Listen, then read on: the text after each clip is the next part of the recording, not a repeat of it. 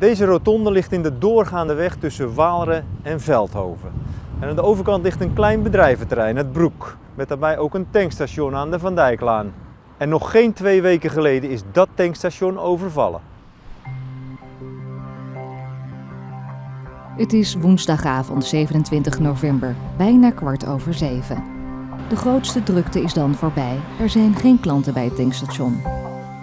Voor de medewerker een goed moment om even wat andere dingen aan te pakken.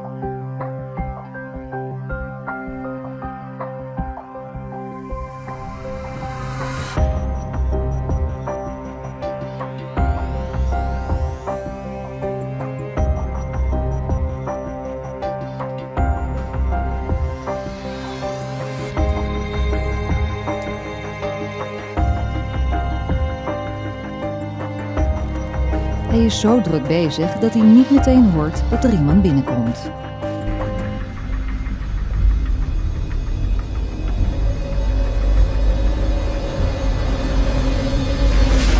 Overval! Geld! Geld! De shopmedewerker doet wat hem